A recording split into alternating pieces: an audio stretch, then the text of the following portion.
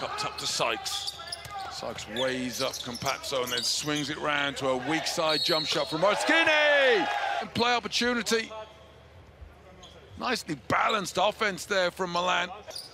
Here's the zone defense again from Madrid. Coach Laso trying to save some legs for his players, but once again, Madrid have returned the favor here in the second. Moraschini stays, continues his hot hand, uh, truly locked in in what's happening on the court. how quickly they don't think about what's happening in the stands because you've got the excitement on the floor. Milan.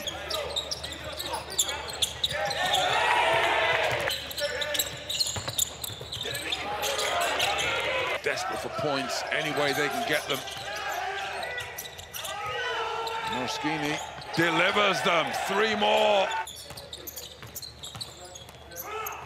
Again, he gets around, sides the stolen away. Moraschini, what an inspiration he's been coast to coast. He's fouled by Fernandez as he attacks the rim.